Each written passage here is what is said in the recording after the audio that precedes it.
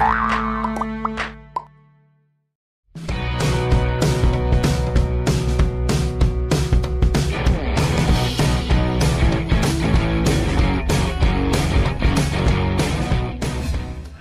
dari Haris 240 seminggu. Ya, inget aja itu.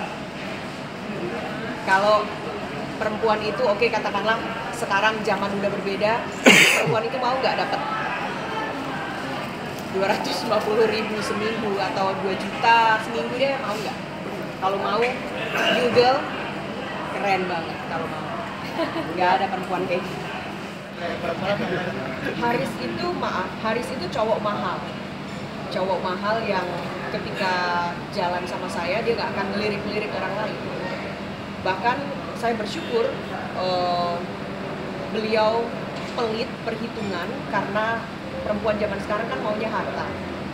Saya merasa alhamdulillah suami saya pelit biar perempuan-perempuan cantik tidak mau dengan dia dan dan lagi suami saya bukan tipe yang genit. Tapi ternyata ya di belakang saya ya saya nggak ngerti